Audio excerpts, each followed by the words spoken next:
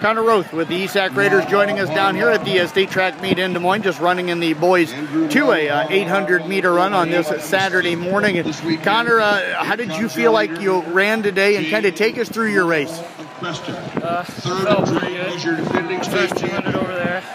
It seemed like they sped it up little over here, so I got tired a little more. But towards the end, I kind of kicked. Was this just a, a, a, different kind of pace than what you see all season? Is that what you experienced, or were you kind of ready for what you saw today, you think? Well, it's kind of different because nobody around where we run with the 159 or 158, so it's kind of a lot faster pace for me. What was your strategy coming into today? Uh, keep up the front guy. Were you able to do that the way you wanted to? Just first lap, then he kind of got away from me. Second lap kind of got away from you. Well, how much of a fight was it then in that second lap to be able to just try to keep up, you know, and stay with the pack? That was a big fight because I got boxed in over there.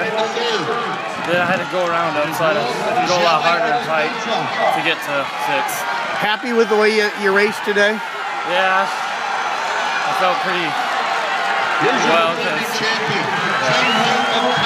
Take us uh, through what's it like to be down here at State. What, what's been some of the things you've really enjoyed about this trip down here to State? Well, I enjoyed hanging out with my 4x8 team and Duncan shop, but it's a lot different environment with all these people around here cheering you on and yelling. It makes it go harder.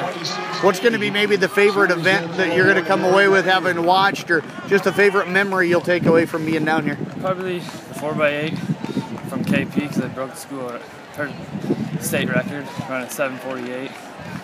Is that something you guys want to get in the future? Yeah. well, Konner, appreciate you joining us here today. Congratulations on getting down here and best of luck.